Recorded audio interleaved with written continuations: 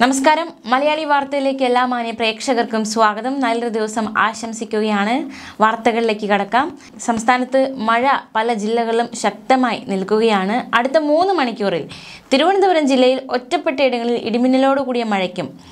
മണിക്കൂറിൽ നാൽപ്പത് കിലോമീറ്റർ വരെ വേഗതയിൽ ശക്തമായ കാറ്റിനും സാധ്യതയുണ്ട് എന്ന് കേന്ദ്ര കാലാവസ്ഥാ വകുപ്പ് അറിയിച്ചിട്ടുണ്ട് കൊല്ലം ജില്ലയിൽ ഒറ്റപ്പെട്ട ഇടങ്ങളിൽ നേരിയ മഴയ്ക്കും മണിക്കൂറിൽ നാൽപ്പത് കിലോമീറ്റർ വരെ വേഗതയിൽ ശക്തമായ കാറ്റിനും സാധ്യതയുണ്ടെന്നും കേന്ദ്ര കാലാവസ്ഥാ വകുപ്പ് അറിയിച്ചു അടുത്ത അഞ്ച് ദിവസത്തേക്ക് മഴ സാധ്യതയുണ്ട് വിവിധ ജില്ലകളിൽ മഞ്ഞ അലേർട്ട് പ്രഖ്യാപിച്ചിരിക്കുകയാണ്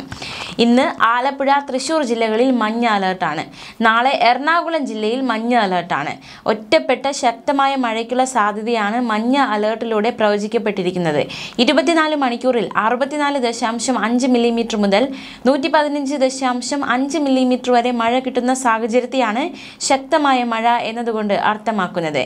മാത്രമല്ല മധ്യപടിഞ്ഞാറൻ ബംഗാൾ ഉൾക്കടലിൽ വടക്കൻ തമിഴ്നാട് തെക്കൻ ആന്ധ്രാപ്രദേശ് തീരത്തിന് മുകളിലായി സ്ഥിതി ചെയ്തിരുന്ന ന്യൂനമർദ്ദം തെക്ക് പടിഞ്ഞാറൻ ബംഗാൾ ഉൾക്കടലിൽ വടക്കൻ തമിഴ്നാടിന് സമീപം ചക്രവാത ചുഴിയായി ദുർബലമായിട്ടുണ്ട് തെക്ക് കിഴക്കൻ അറബിക്കടലിന് മുകളിലായി കേരള തീരത്തിന് സമീപം ചക്രവാത ചുഴി സ്ഥിതി ചെയ്യുന്നുണ്ട് ഇതിന്റെയൊക്കെ ഫലമായിട്ടാണ് അടുത്ത അഞ്ച് ദിവസം ഇടിമിന്നലോട് കൂടിയ നേരിയ ഇടത്തരം മഴയ്ക്ക് സാധ്യത ഒറ്റപ്പെട്ട സ്ഥലങ്ങളിൽ പതിനേഴ് വരെ ശക്തമായ മഴയ്ക്ക് സാധ്യതയുണ്ടെന്നും കേന്ദ്ര കാലാവസ്ഥാ വകുപ്പ് അറിയിച്ചു പൊതുജനങ്ങൾക്കുള്ള ജാഗ്രതാ നിർദ്ദേശം കൂടി നമ്മൾ ഒന്ന് മനസ്സിലാക്കി വെച്ചിരിക്കണം ഉരുൾപൊട്ടൽ മണ്ണിടിച്ചിൽ മലവെള്ളപ്പാച്ചിൽ സാധ്യതയുള്ള പ്രദേശങ്ങളിൽ താമസിക്കുന്നവർ അധികൃതരുടെ നിർദ്ദേശാനുസരണം സുരക്ഷിതമായ സ്ഥലങ്ങളിലേക്ക് മാറി താമസിക്കേണ്ടതാണ്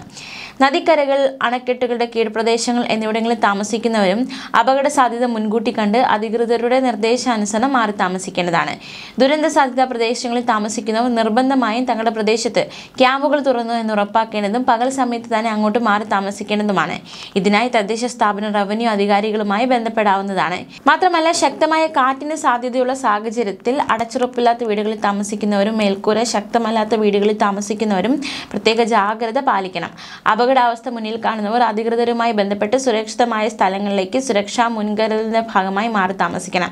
കാറ്റിൽ മരങ്ങൾ കടപുഴകി വീണും പോസ്റ്റുകൾ തകർന്നു വീണും ഉണ്ടാകാനിടയുള്ള അപകടങ്ങളെയും ശ്രദ്ധിക്കണം സ്വീകരിക്കേണ്ടതാണ് സംസ്ഥാന ദുരന്ത നിവാരണ അതോറിറ്റി പുറപ്പെടുവിച്ച ശക്തമായ കാറ്റിൽ സ്വീകരിക്കേണ്ട മുൻകരുതൽ നടപടികൾ സ്വീകരിക്കേണ്ടതായിട്ടുണ്ട് ശക്തമായ മഴ പെയ്യുന്ന സാഹചര്യത്തിൽ ഒരു കാരണവശാലും നദികൾ മുറിച്ചു കടക്കാനോ നദികളിലോ മറ്റ് ജലാശയങ്ങളോ കുളിക്കാനോ മീൻ പിടിക്കാനോ മറ്റാവശ്യങ്ങൾക്കോ ഇറങ്ങാൻ പാടുള്ളതല്ല